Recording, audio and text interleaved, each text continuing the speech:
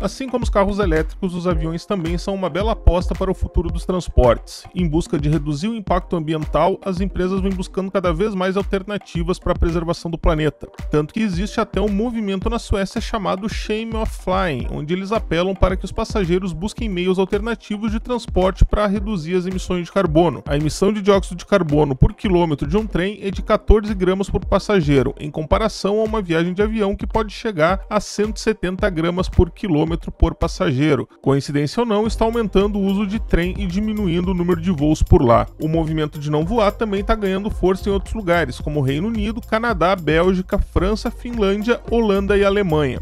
Porém, novas tecnologias serão capazes de proporcionar voos ecológicos, e uma delas são justamente os aviões elétricos. Mas vocês já pararam para pensar há quanto tempo os aviões elétricos vêm sendo projetados? A primeira vez que se ouviu falar em uma aeronave movida a eletricidade foi em 8 de outubro de 1883, quando Gaston Tissanger, utilizando um motor elétrico Siemens de 1,5 HP, voou o primeiro dirigível movido a eletricidade. Já o primeiro voo livre totalmente controlado foi feito em 1884 por Charles Renard, no dirigível do exército francês La France, que fez o primeiro voo de uma aeronave que decolou e pousou no mesmo lugar. O dirigível de 52 metros de comprimento e 1.900 metros cúbicos percorreu 8 km em 23 minutos com o auxílio de um motor elétrico de 6,3 kW e 435 kg de baterias. Ele chegou a fazer 7 voos entre 1884 e 1885. Mas os balões e dirigíveis eram muito desajeitados, então em uma tentativa de criar uma solução mais prática, em 1917 foi a vez do helicóptero elétrico austro-húngaro Petrovsky Karman Zurovec PKZ-1 decolar.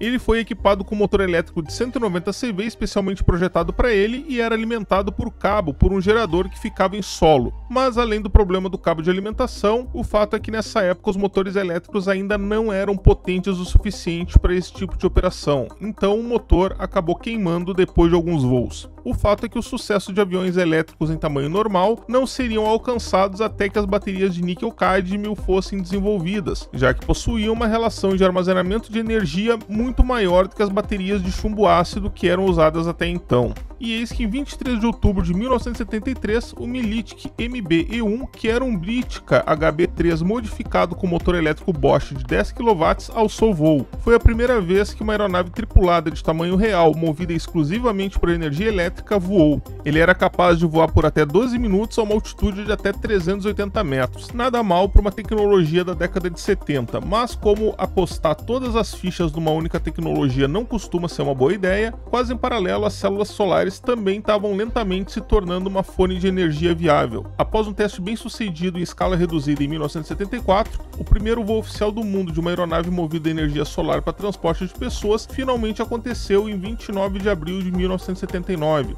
O Mauro Solarizer usava células fotovoltaicas que eram utilizadas para recarregar uma pequena bateria que, por sua vez, alimentava um motor de 2,6 kW. A bateria sozinha era capaz de alimentar o motor por 3 a 5 minutos após uma carga de uma hora e meia. Interessante citar que os painéis solares serviam apenas para recarregar a bateria em solo e não eram usados durante o voo. Em sua curta vida, ele conseguiu atingir uma altitude máxima de 12 metros e percorrer uma distância de apenas 800 metros, sendo logo em seguida recolhido para o museu.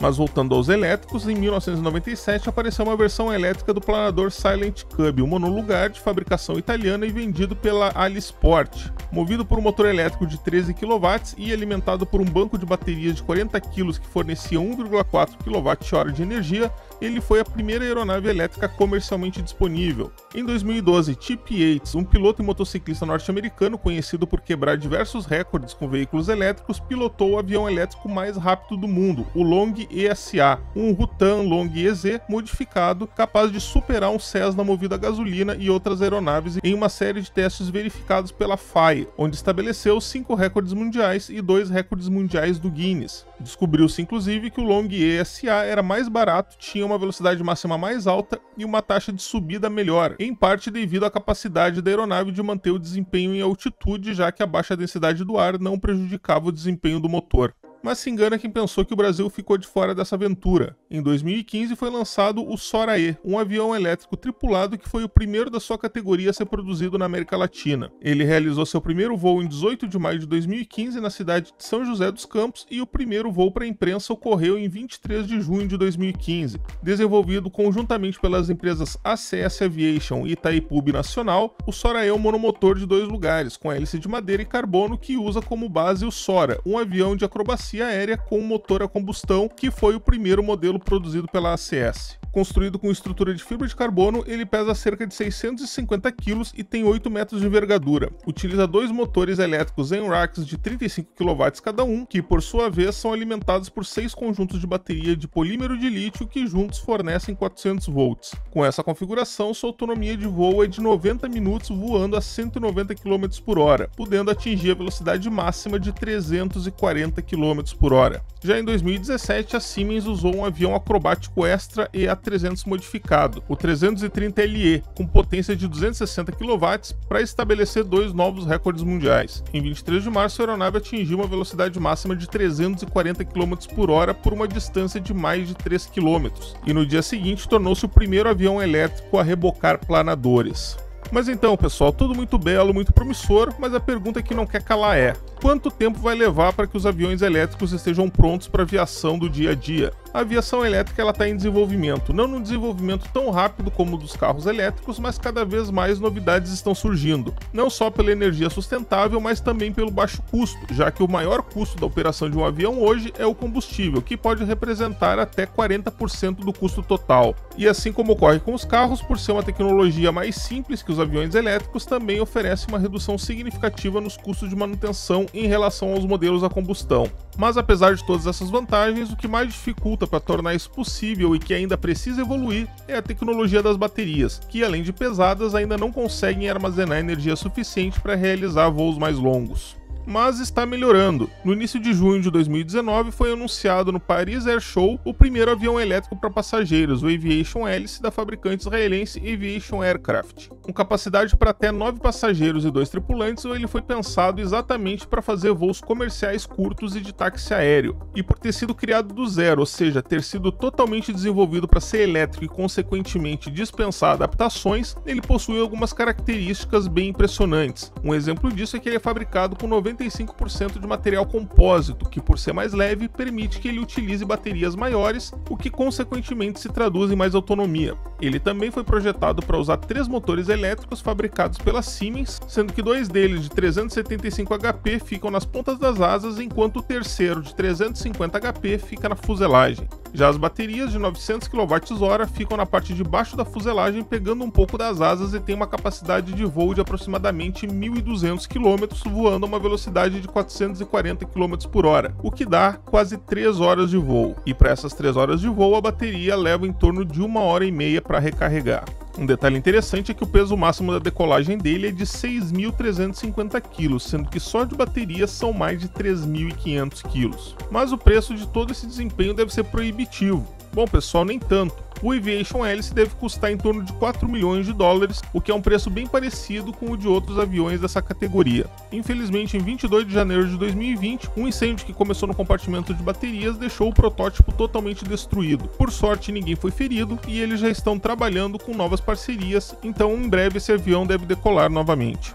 Em maio de 2020 foi a vez do maior avião elétrico do mundo decolar. Na verdade, um Cessna Grand Caravan convertido com um motor elétrico Magno 500 de 750 HP em substituição ao original turbo-hélice.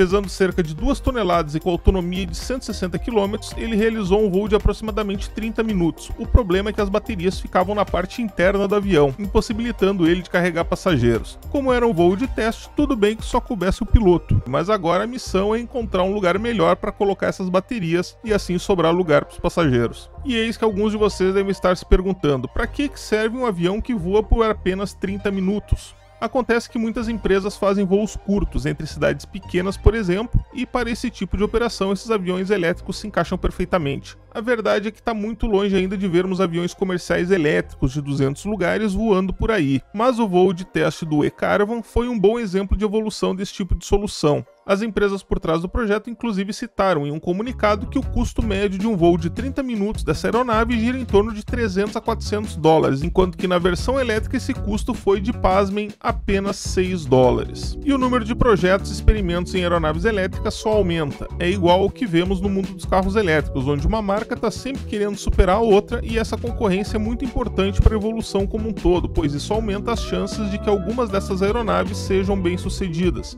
Então é isso, pessoal espero que tenham gostado do vídeo de hoje. Se curtiram, deixa aquele joinha e não se esqueçam de se inscrever no canal, compartilhar se acharem que ele é interessante para outras pessoas. Eu vou ficando por aqui e nos vemos no próximo vídeo. Um abraço!